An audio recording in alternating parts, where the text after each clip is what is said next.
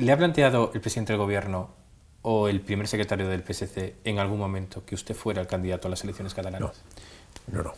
Eh, el presidente del gobierno me encargó, no, el presidente del gobierno me encargó eh, y me siento muy honrado por ello, eh, pues que me hiciera cargo de sanidad.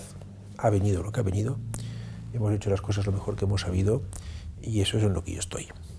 Y efectivamente, pues tengo una responsabilidad también como secretario del PSC, que intento compatibilizar con eso, pero mi prioridad ahora es claramente cumplir con mis obligaciones como ministro de Sanidad, que le aseguro que no son sencillas. No se lo han planteado.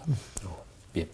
Y, se ve usted como, hay quien lo ve, como futuro líder del Partido Socialista no, yo me veo ahora mismo como ministro de Sanidad y en el PSC me veo como secretario de organización de una ejecutiva dirigida por Miquel Iceta, que es el mejor activo que tiene el PSC en estos momentos, para la política catalana y probablemente para la española también tras las próximas elecciones debería plantearse la posibilidad de que hubiera un pacto con Esquerra Republicana, entre Esquerra Republicana y el PSC? Vamos a ver, los ciudadanos siempre tienen que hablar cuando hay elecciones y vamos a ver ¿eh? qué dicen los ciudadanos y mm, yo creo que en Cataluña estos 10 años no han sido buenos, no ha habido avances tangibles en ningún terreno para la sociedad catalana y yo creo que hay que ir, si me lo permite coloquialmente, hay que ir a las cosas. Hay que ir a lo que hay que ir. Hay que ir a proteger la salud de los ciudadanos de Cataluña, hay que ir a proteger la economía de los ciudadanos de Cataluña y hay que trabajar mucho. Estamos en un momento muy complejo en toda Europa occidental.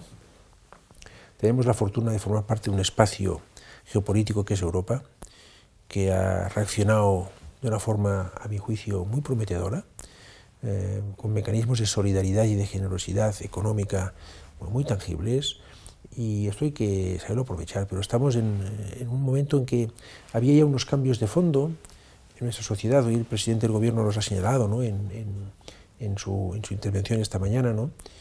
a la que me consta que ustedes también han tenido, en fin, han seguido, eh, unos cambios de fondo que a mi juicio la pandemia no ha hecho otra cosa que acelerar. ¿no? Y aquí no hay que dormirse como sociedad tenemos que tener claro que hay que espabilar, si me lo permite, y hay que, hay que, hay que trabajar en esa dirección y hay que ver cómo transformamos nuestra economía eh, para hacerla más sostenible y para incorporar todos los criterios de, respeto al medio ambiente, cómo digitalizamos también nuestra economía y nuestra sociedad, ¿no? cómo la hacemos más, la cuestionemos más social y territorialmente. Se me está escapando, eh, ministro, de la pregunta. Es decir, si es que Republicana va a las cosas eh, no debería descartarse. yo, digo, yo le he dicho que los ciudadanos tienen que hablar. Y cuando hayan hablado los ciudadanos y veamos, hayamos visto qué decisiones toman, luego habrá que ver cómo la decisión que han tomado los ciudadanos en forma de apoyos eh, parlamentarios a distintas formaciones políticas se traducen y se articulan en un gobierno. Pero yo, antes de que los ciudadanos hablen, eh, no, no voy a decir nada. En todo caso, todo el mundo sabe que el PSC no es un partido independentista y que, por tanto, va a lo que va.